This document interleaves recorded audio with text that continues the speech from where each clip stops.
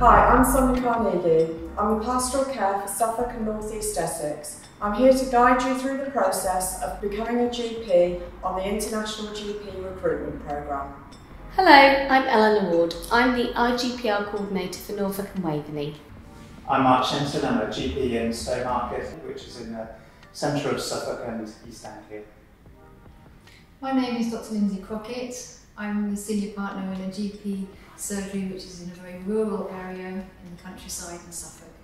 So, Lindsay Mark, why is this area a great place to live and work as a GP? Well, I moved up here from London about 10 years ago. I visited regularly, my parents had already lived here at the time. Uh, and it's a beautiful area to practice, it's a beautiful area to live. It's countryside and seaside and rivers and very close connections to towns and to cities uh, and to London, you know, in, a, in an hour easily uh, to get to. Uh, and practicing here is a real honour actually. You can really uh, work with patients, get to know patients, continuity of care. Uh, it's, it's, it was a really good decision.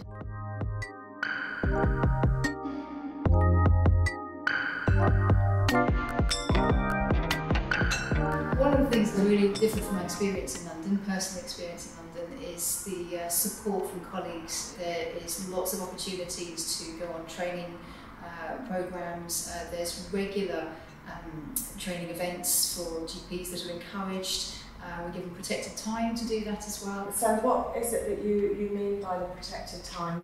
So our clinical commissioning group, the CCG, um, provide uh, cover, what we call backfill cover, for the GP surgeries within that locality to go together for an afternoon every month to learn clinical information. There might be a lecture on a particular topic, rheumatology, for example, orthopedics. Uh, we also network. We have coffee and we have food, uh, and that opportunity to meet each other and uh, discuss things and share learning uh, actually uh, is much uh, more than just the few hours that we spend every month. Yeah, and, and that collaborative approach, which also includes our local GP federation Mm. and um, their ability to support um, newcomers into the area to find their feet and to find work, to Mm. get the necessary um, uh, things in place to allow them to get connections into Mhm. other practices, into the community of clinicians that is around is, is really good too. There's a huge amount of opportunity, as you say, to do different things, to work flexibly, to work part-time, to be able to have your family time uh, as well, or whatever hobby or interest you might have, be able to devote time to that and share it with being a general practitioner.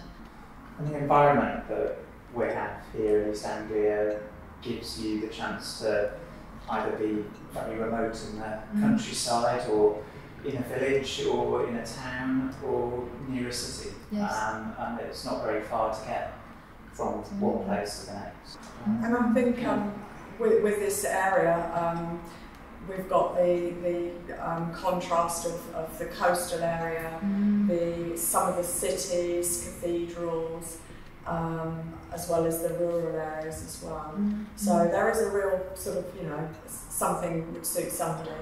Yeah, Uh, something for everyone. Yeah, good shopping too. Um, Norfolk and Ipswich and uh, Norwich rather, and Yeah, Ipswich Bury. and Bury and Cambridge and Cambridge. Colchester.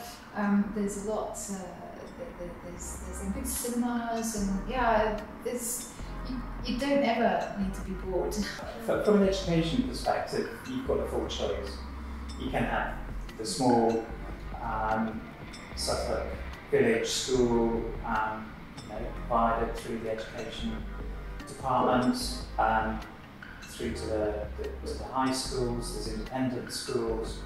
Um, so there's a there, there is an array. Once we um, initially make contact with um, the candidates, then we would always find out um, their family background, um, how old the children are, and we have links within the council to then start us on that pathway, of finding them suitable education that suits their, their needs, Um, and as we've said, you know, it is vast in, in this area. Yeah, we feel it's very important um, to help with that relocation process. Um, you know, so because as well as coming over here to work, you're coming over to a different country, and we're there to help in every angle, um, as well as the schooling, housing side. Um, you know, whether they need refresher driving lessons.